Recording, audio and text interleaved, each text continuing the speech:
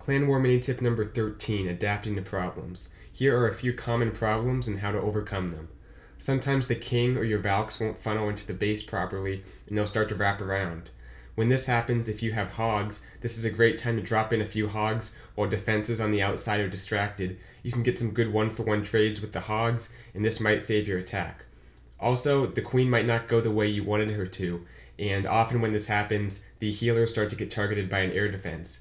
At this point, you want to wall breaker in your queen or try to drop a few hogs or do something to take out that air defense because if you lose your queen and your healers very early, your attack is most likely in some trouble. This has been a Clan War mini tip presented by Bisectatron.